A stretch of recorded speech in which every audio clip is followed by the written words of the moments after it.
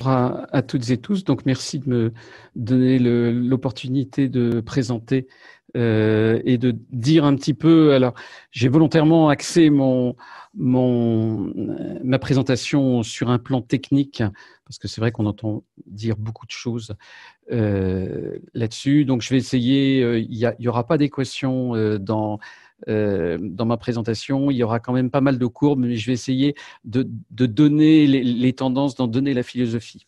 Donc, je vais présenter les caractéristiques essentielles euh, des transmissions radio, aborder un petit peu les services 5G, de quoi on parle, donner aussi des indications sur les phases de développement, de déploiement, et puis aborder quelles les nouveautés techniques et euh, conclure pour finir.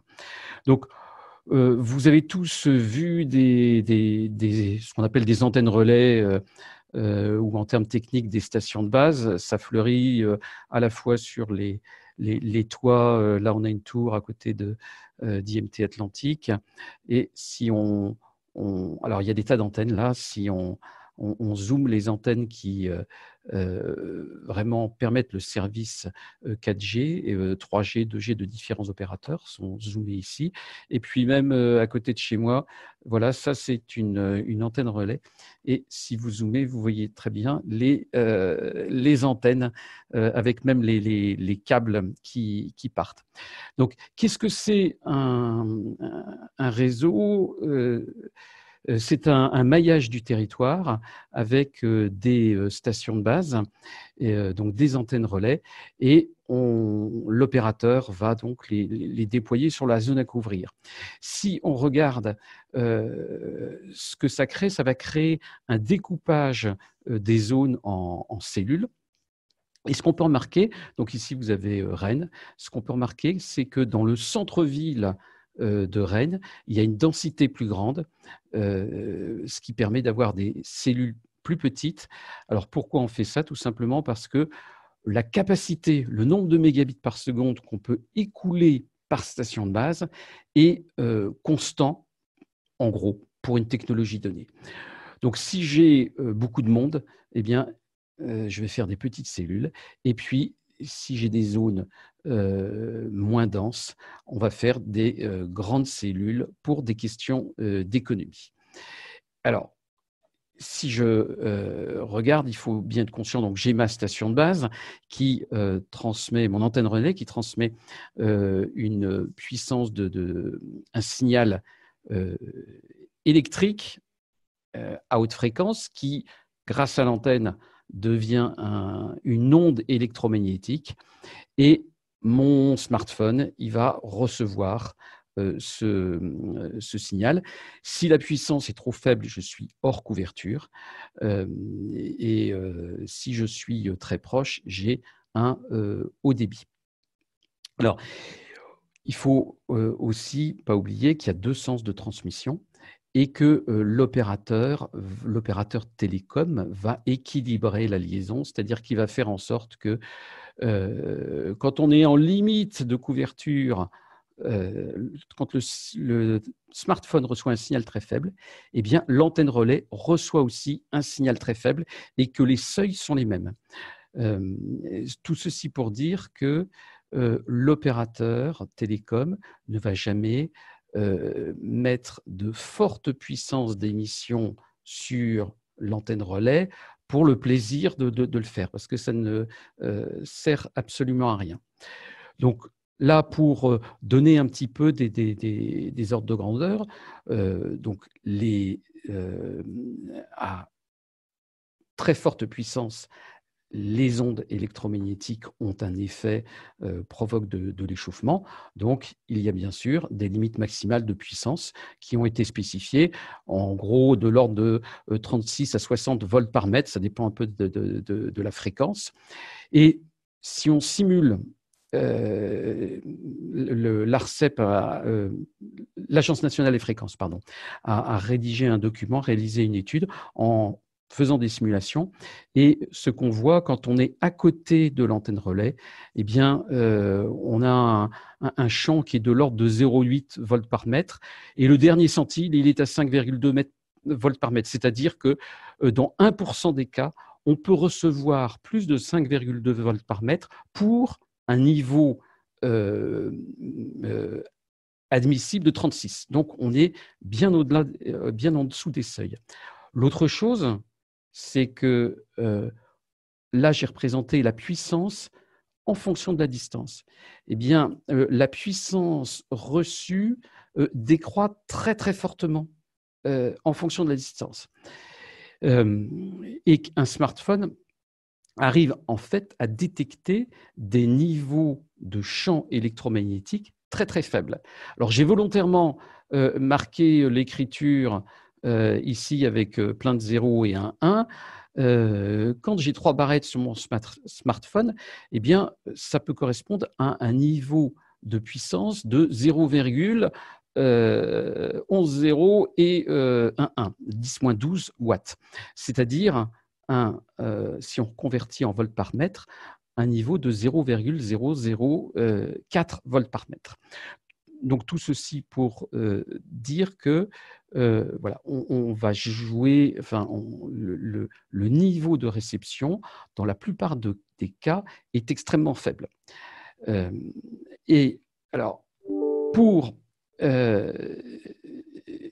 Qu'est-ce que va conditionner le niveau de réception? Bien, Le niveau de réception, il va conditionner le débit. Et donc, euh, il y a deux choses euh, à avoir en tête. C'est que euh, là, j'ai représenté le débit en fonction de la distance. lorsqu'on est relativement proche, on est à la capacité maximale du, système, on a un, fort débit. Et puis, au fur et à mesure qu'on s'éloigne, le niveau de signal devient plus faible, la puissance devient plus faible et le, euh, le débit diminue. Donc la capacité, euh, en sachant que ici, ce que j'ai représenté, là j'ai donné de l'ordre de 20 mégabits euh, par seconde, c'est partagé entre les différents utilisateurs. Le nerf de la guerre, c'est la fréquence, la largeur de fréquence qu'on a. et la, figure montre que pour 5 MHz, par exemple, je vais avoir environ 20 mégabits.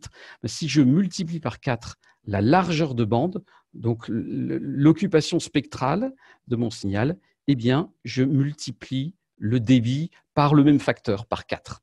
On a un petit peu moins de 80, un petit peu moins de 20. Allez, 18, 18 fois 4, euh, ça nous fait euh, de l'ordre de 76. Euh, c'est ce qu'on constate ici. Donc, il faut, si on veut des hauts débits, il faut une grande largeur de fréquence. Il faut des fréquences. C'est pour ça que les enchères sont extrêmement importantes pour les opérateurs.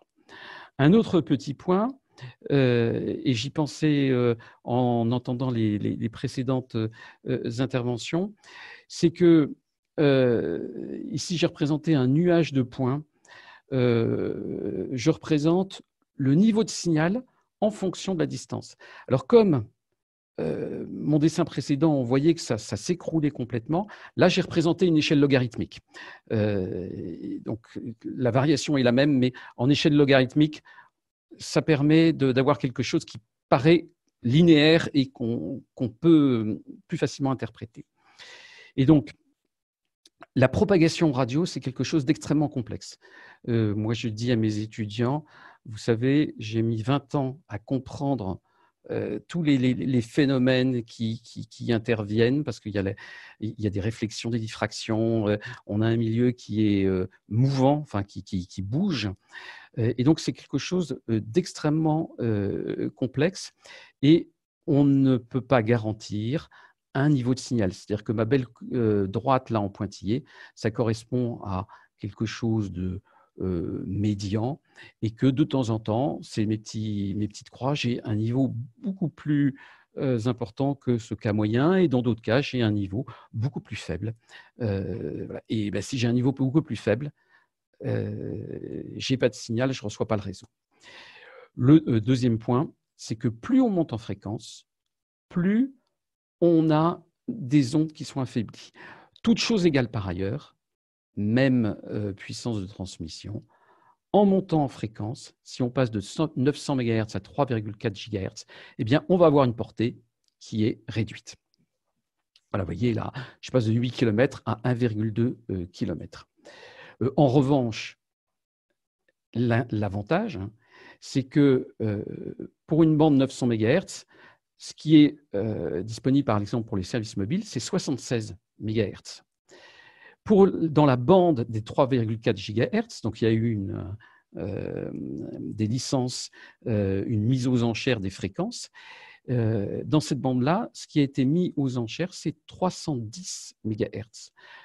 voilà, donc on, voit que on a une problématique, une réalité physique, qui est que les basses fréquences permettent de faire de la couverture, les hautes fréquences permettent de faire de la capacité, mais on a un dilemme, on ne peut pas faire couverture et capacité euh, euh, en même temps où il faut à ce moment-là multiplier la, euh, le déploiement de stations de base. Donc, ça, c'est un petit point pour faire un peu le bilan sur les, aspects plus propagation radio. L'autre point qu'il ne faut pas oublier, c'est qu'un réseau, c'est les antennes relais qu'on voit, mais c'est bien plus que ça. Derrière, il y a euh, ce que j'ai représenté sous forme de, de, fromage ou de, euh, rectangle, euh, des équipements qui font le routage, qui permettent de contrôler, qui permettent de suivre euh, une personne, quand elle se déplace, il faut que euh, la communication soit conservée alors qu'elle passe d'une antenne relais à l'autre. Donc, il y a un tas de euh, fonctions qui sont mises en œuvre, qui sont complètement transparentes à un utilisateur, mais un, smartphone, c'est un, équipement qui fait énormément de choses sans qu'on s'en aperçoive. Et côté réseau, il y a aussi énormément de traitements. et c'est quelque chose euh, d'important. On peut dire qu'aujourd'hui, sur un réseau 4G, euh, tous les équipements fonctionnent tout le temps. Euh, et qu'un des buts de la 5G, c'est d'avoir quelque chose de beaucoup plus souple. Alors justement, un petit historique. je vais aller rapidement, mais bon, 1G, c'était le système Radiocom 2000. Ensuite, on a eu la 2G avec le premier système numérique une transmission de données bas débit. Euh, et c'est un réseau qui tourne encore parce qu'il y a, euh, par exemple, des stations météo qui sont encore connectées en 2G. Euh, beaucoup d'objets connectés qui ont été déployés fonctionnent juste en envoyant des SMS. Et ça fait dix ans que j'entends parler du démontage des réseaux 2G par les opérateurs et ça fait dix ans que ça n'arrive pas. Parce qu'il y a un parc installé qui, qui est un peu difficile de, dire aux clients ça va plus marcher à partir de demain. Depuis 2000, en 2000, on a eu la 3G, donc environ 500 kilobits par seconde. Un point important, ce qui a permis vraiment le décollage de tout ce qui est euh, transmission de données, c'est vraiment les terminaux à écran tactile avec une marque euh, célèbre à la pomme, euh, qui ont permis la navigation facile sur le web, les vidéos, les réseaux sociaux. Et en 2010, la 4G avec un accès IP qui est à 10 mégabits par seconde. Alors, la 4G, c'est c'est pour moi un bon réseau, mais c'est un réseau qui est un peu monolithique. Il permet l'accès Internet, euh, euh, voilà. Mais il n'est pas très souple. Alors, en euh, parallèle, on a eu le développement lent mais constant des objets connectés avec la 2G via les SMS et en 4G, où il faut savoir qu'il y a des versions de la 4G qui permettent d'avoir des objets connectés et euh, d'avoir une consommation faible des objets. Il y a notamment quelque chose qui s'appelle Narrowband IoT. J'ai vérifié en préparant cette conférence, qui est par exemple proposée par euh, euh, SFR et qui est plus performant en termes de couverture et d'autonomie. Et il y a d'autres technologies qui sont d'origine française, Sigfox et LoRaWAN. Alors, ce sont des technologies qui sont euh, plutôt orientées pour des euh, objets qui vont envoyer quelques messages par jour, surtout pour Sigfox, mais qui sont des technologies adaptées vraiment aux objets communicants. Alors, si on parle de 5G, ce qui a été vu, c'est un peu avec la 4G l'explosion de l'usage des données, mais principalement consultation sur le smartphone, et qu'il y avait un, besoin quand on parle de voitures connectées ou de voitures conduites à distance, d'un système plus large. Donc ça, c'est un triangle qu'on voit un peu partout qui représente l'ensemble des types d'applications qui sont visées. Alors en haut du triangle, on a plutôt ce qui requiert du débit, c'est-à-dire la vidéo 3D ou les écrans haute définition. sur la, en bas à droite, là où il y a la voiture, c'est plutôt ce qui réclame une grande réactivité, c'est-à-dire une faible latence. Donc la latence, ça va être euh, le temps euh, pour transmettre un petit message de quelques octets. On ne veut pas transmettre une grande quantité de données, mais juste, par exemple, la voiture connectée, lui dire stop ou euh, tourne à droite ou freine. ce sont des, petits messages et on veut les transmettre en quelques, alors, millisecondes, dizaines de millisecondes. Donc, sur la partie droite de mon euh, triangle, c'est plutôt euh, ce qui demande euh, de la latence et quelquefois quand même une faible latence pour la réalité augmentée et un, débit non négligeable. Et puis à gauche, on a tous les services plutôt d'objets connectés à partir de, de, capteurs. Ça peut être des capteurs pour l'environnement, des capteurs pour euh, l'agriculture ou euh, pour euh, ce qu'on appelle la ville intelligente, donc par exemple adapter l'éclairage à la, aux personnes qui sont là ou pas. Et ce qui a été défini dans la, dans, la 5G d'un point de vue technique, c'est des indicateurs clés de performance pour les différents types d'applications.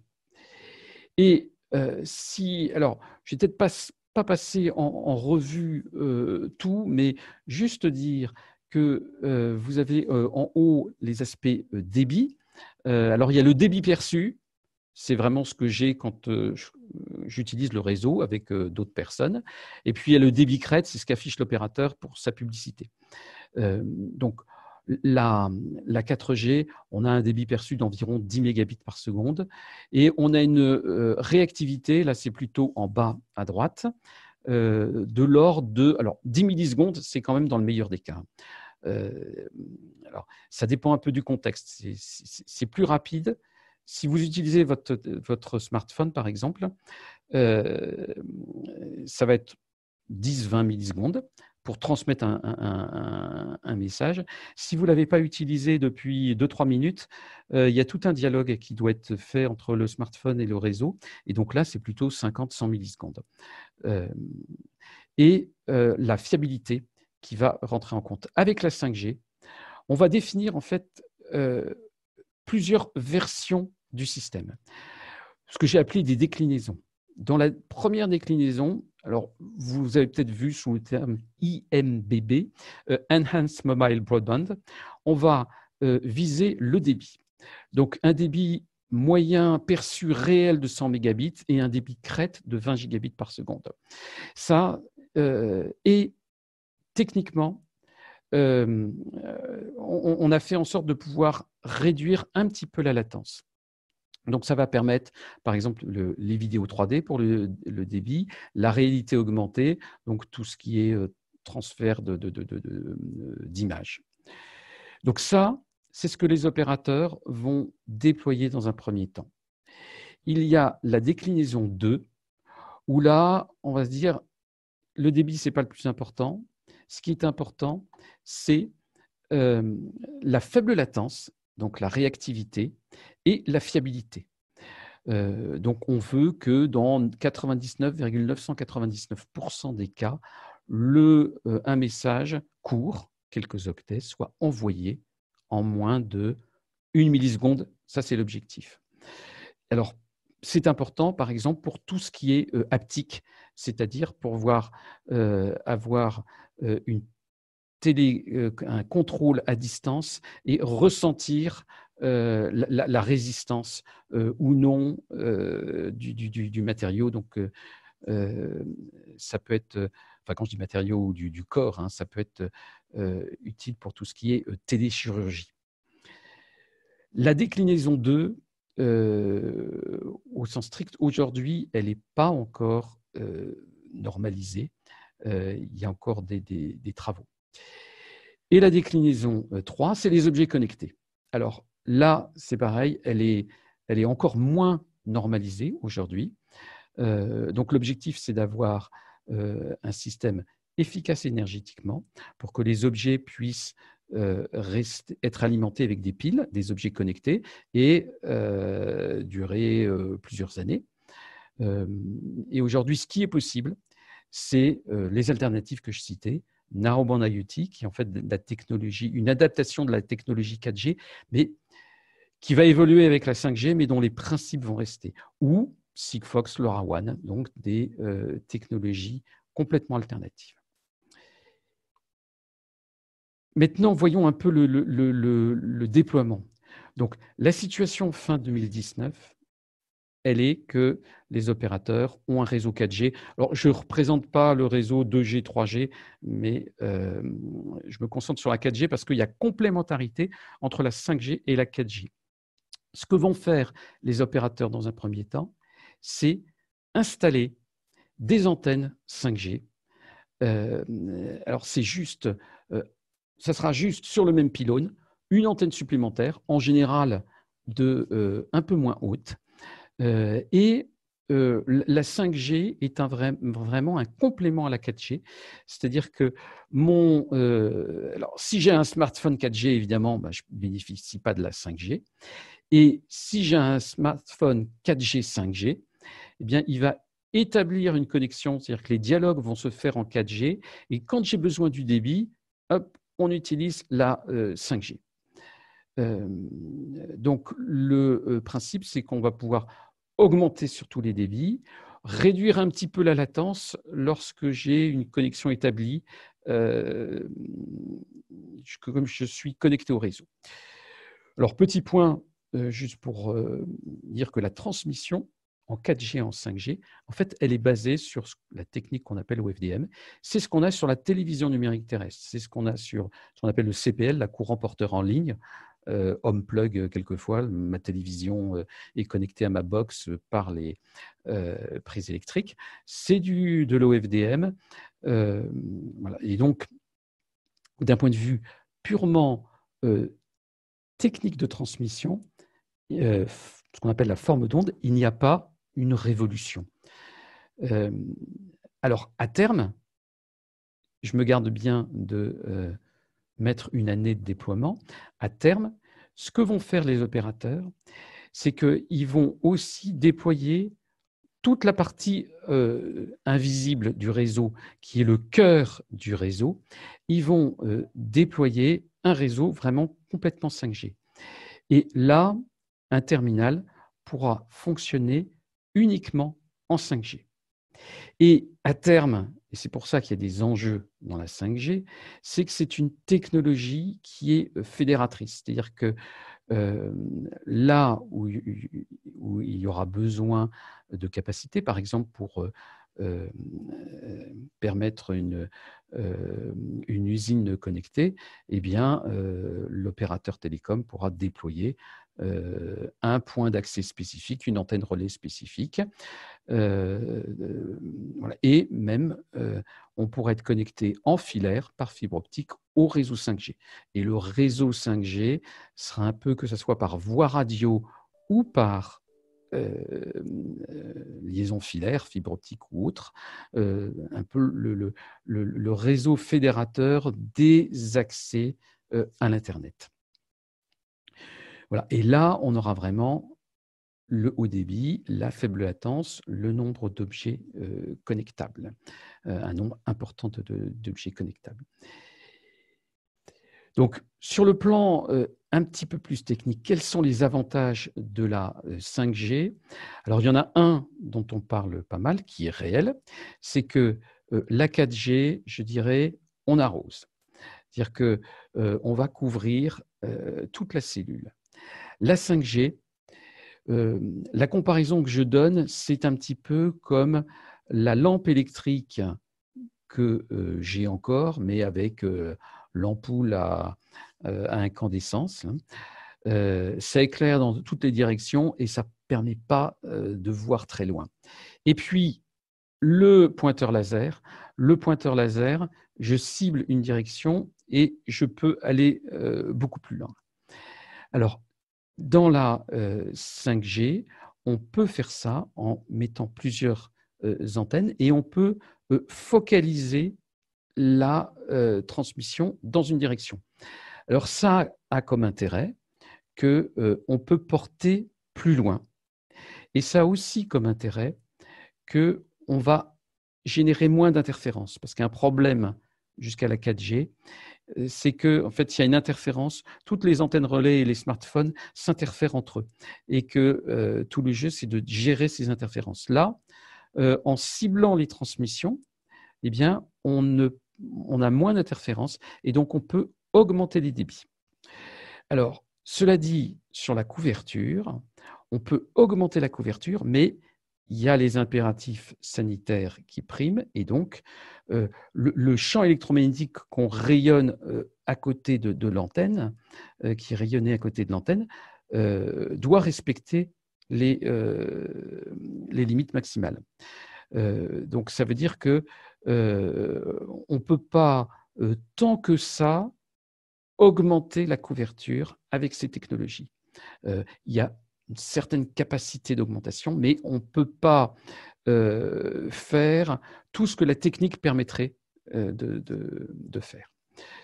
Et puis, il y a eu aussi une question d'encombrement, c'est que euh, ces réseaux d'antennes, donc on multiplie les antennes, et, comme il faut les écarter d'une longueur d'onde, eh bien, sur, aux faibles fréquences, ça prend beaucoup de place. Donc, c'est pas possible. C'est surtout possible à haute fréquence pour des questions d'encombrement. Donc euh, voilà, alors après j'avais mis une petite photo pour euh, dire que finalement euh, ce qu'on verra pour la 5G, c'est donc sur ma grande photo là, on a un équipement qui va plutôt être utilisé pour la 4G et à gauche ça rajoute juste un panneau, comme je disais, qui est un petit peu plus large. Alors les autres points qui sont intéressants dans la 5G, c'est que les gens qui ont conçu ont fait très attention à la consommation énergétique, à la fois pour les antennes relais et pour le terminal. Euh, euh, cibler euh, un terminal d'un point de vue rayonnement, ça permet de moins consommer d'énergie. Et puis, il y a aussi des systèmes de balayage pour permettre aux, terminaux de se retrouver dans le réseau en consommant moins. Donc c'est un réseau qui est très largement configurable. L'objectif, c'est de n'activer les fonctions nécessaires euh, justement que quand c'est nécessaire. Ce que je veux dire par là, c'est que si j'ai un objet qui est euh, connecté, qui est installé, euh, une poubelle connectée ou un, conteneur connecté, bah, s'il ne se déplace pas, ce n'est pas la peine qu'il y ait les mécanismes de gestion de la mobilité. Et dans la 4G, en fait, tout est intégré. C'est l'aspect monolithique que j'évoquais. On est obligé de le faire. Un autre point, c'est qu'il y a possibilité de développer, de déployer pour un opérateur télécom des configurations spécifiques. C'est-à-dire que si un grand compte a un besoin spécifique, on peut développer, euh, il peut développer sa propre, avoir sa propre version du réseau. Le dernier point, les deux derniers points, c'est un réseau qui est ouvert à des fournisseurs de services tiers. Les opérateurs ne veulent pas se contenter d'être des fournisseurs de tuyaux. Et il est prévu, alors je ne sais pas si, ça sera utilisé, mais par exemple, que euh, fournisseur de services euh, puisse s'abonner à, un service auprès de l'opérateur qui lui dit, qui lui indique s'il y a une cellule, une zone géographique dans laquelle le nombre de personnes, la densité de personnes dépasse un certain seuil. c'est un exemple de choses qui sont possibles. Euh, voilà. Et le fournisseur de service, après, euh, en fait ce qu'il veut, euh, développe son, service. Mais on, a maintenant, c'est tout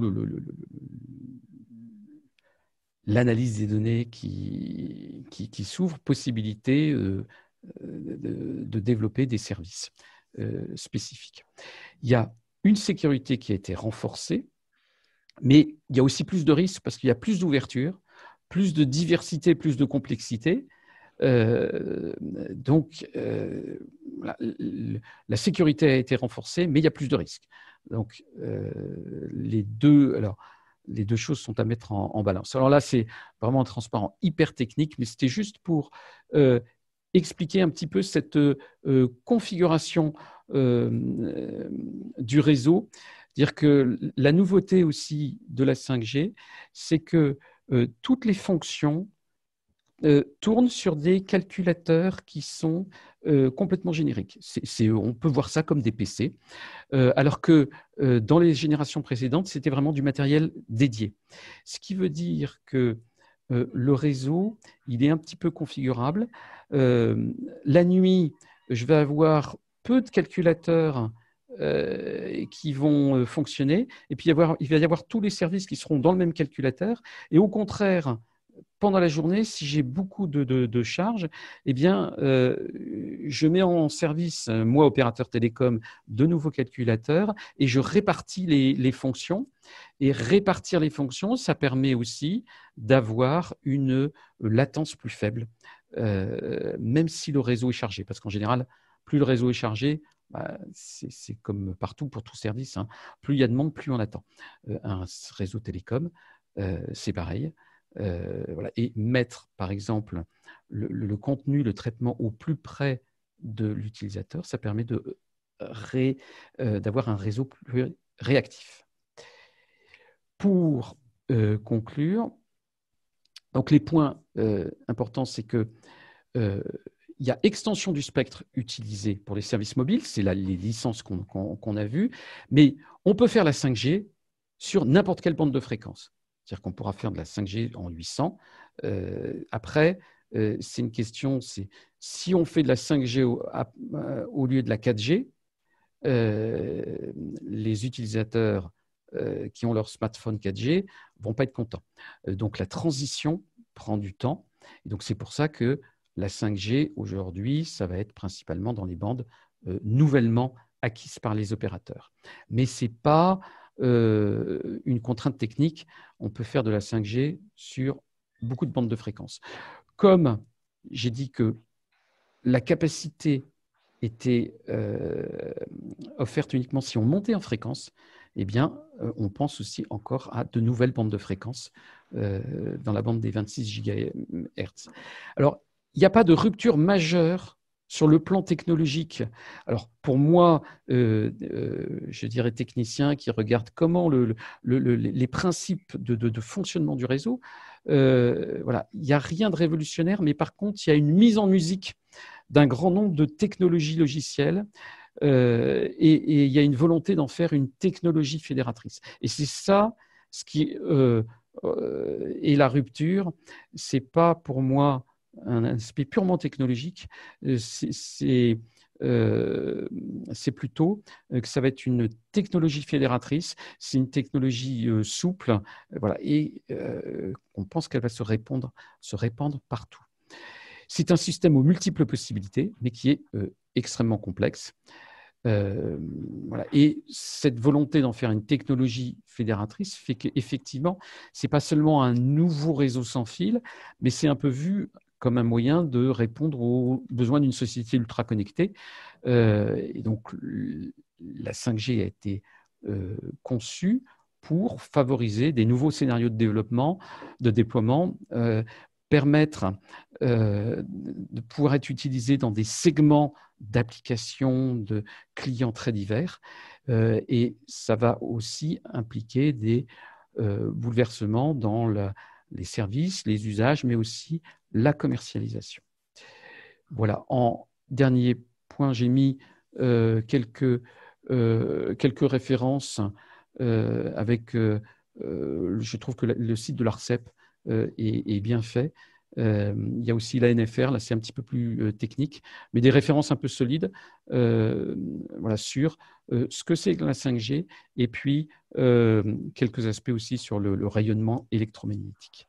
Voilà, j'espère que je n'ai pas été trop long, je n'ai pas perdu tout le monde et je suis prêt à répondre à vos questions si vous en avez.